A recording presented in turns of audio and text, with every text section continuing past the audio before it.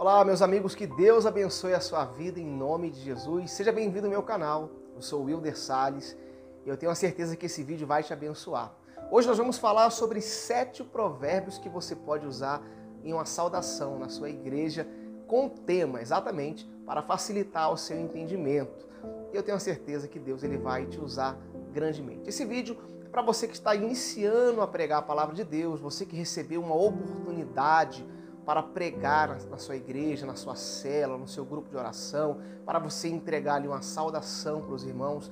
Enfim, é para você que está iniciando e que não tem muita experiência. Então, eu quero convidar você a ficar até o final, porque serão sete provérbios que vai abençoar o seu entendimento e vai facilitar na hora de você entregar uma saudação em nome de Jesus. Amém?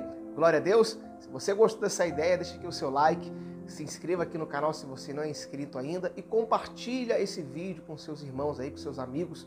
Eu tenho a certeza que você também vai abençoar aquela pessoa que também está com dificuldade de pregar a palavra de Deus.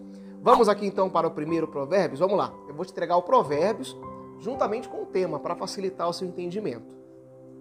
E o primeiro Provérbios que eu quero ler para você está aqui em Provérbios, capítulo 11, o versículo é o 25, que diz assim, ó: A alma generosa prosperará, e aquele que atende também será atendido. Olha que bacana esse Provérbios. Muito forte. O tema você pode colocar dessa maneira: Fomos chamados para servir. Irmãos, Deus ele chamou você para servir. Deus ele chamou você para fazer a obra dele. E aí você pode exatamente explicar isso para os seus irmãos. Olha, Deus te chamou para servir. Quando você serve, quando você pratica a palavra de Deus, você também será atendido. Amém? Esse é o primeiro. Vamos para o segundo? O segundo provérbio que eu quero dar para você aqui está em Provérbios capítulo 16, o versículo 3, que diz assim: Confia ao Senhor as tuas obras, e os teus pensamentos serão estabelecidos. O tema que você pode colocar é exatamente esse aqui, ó. Coloque os seus planos diante de Deus para você ter a vitória. Amém? Quando você coloca os teus planos, os seus propósitos diante do Senhor, então você está pedindo para o próprio Deus cuidar daquilo que é seu. Exatamente isso que você pode declarar aí na saudação da sua igreja, da sua célula, do seu grupo de oração, enfim, onde você for ministrar a palavra de Deus. Amém? Então, confia, né? Ao Senhor as tuas obras. O tema, coloque seus planos diante de Deus para você ter a vitória. Amém, Jesus? Eu creio que você vai conseguir pregar e o Espírito Santo vai te usar em nome de Jesus. Glória a Deus. Comenta aqui o que você está achando desses provérbios. São sete. Estamos no segundo, vamos para o terceiro provérbios.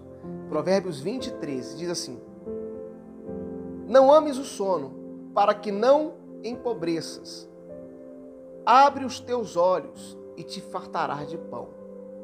O tema você pode colocar assim: Não seja acomodado. Olha que bacana esse provérbio. Simples, mas uma mensagem muito forte. Não ames o sono. Quando a Bíblia fala do sono, fala do comodismo, né? da preguiça espiritual, até mesmo da preguiça da carne. Então não ame o sono, ou seja, pelo contrário, abre os teus olhos, ou seja, seja disposto, seja esforçado para que você venha ser farto de pão, para que, ou seja, para que Deus venha suprir as suas necessidades. Então o tema é esse. Não seja acomodado. É muito bacana. Você pode saudar a igreja com esse provérbio, vai ser uma bênção. O Espírito Santo vai te usar.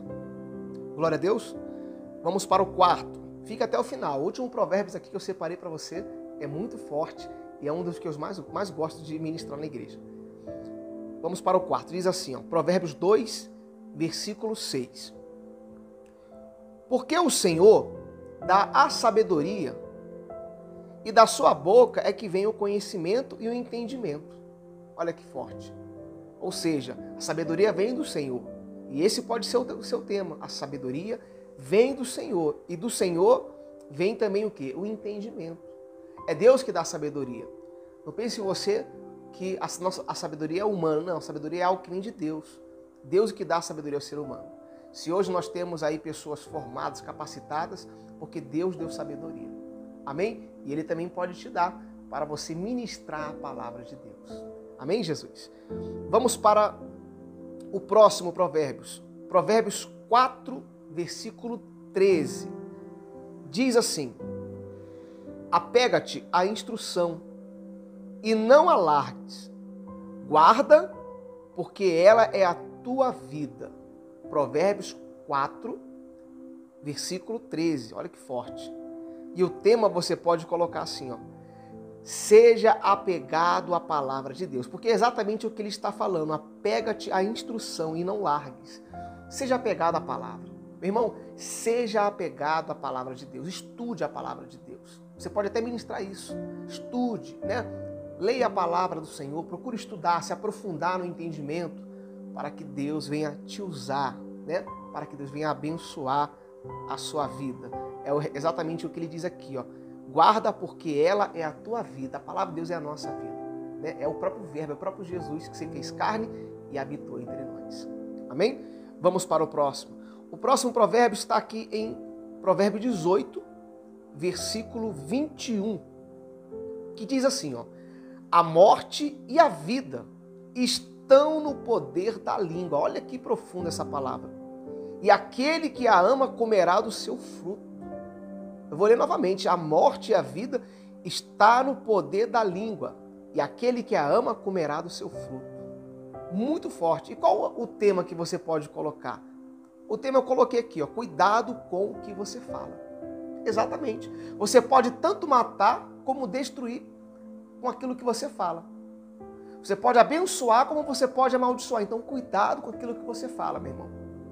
Cuidado com aquilo que você declara. E você pode saudar a igreja né, como um, um alerta, olha, cuidado com aquilo que você fala. Por quê?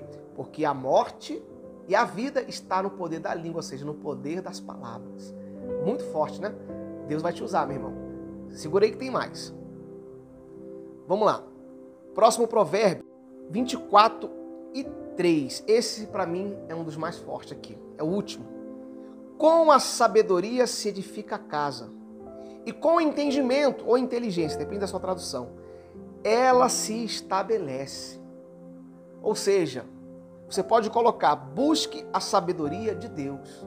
Por que você tem que buscar essa sabedoria? Porque com a sabedoria de Deus, você vai edificar a sua casa.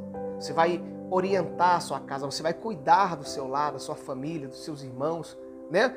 E com a inteligência, ou seja, quando você para para pensar, você para para entender o que Deus quer fazer, você então consegue consolidar aquilo que Deus tem para sua família, para sua vida. Muito forte, é muito forte a palavra de Deus. Então, você pode colocar aí o tema: busque a sabedoria que vem de Deus. E o Espírito Santo vai te usar.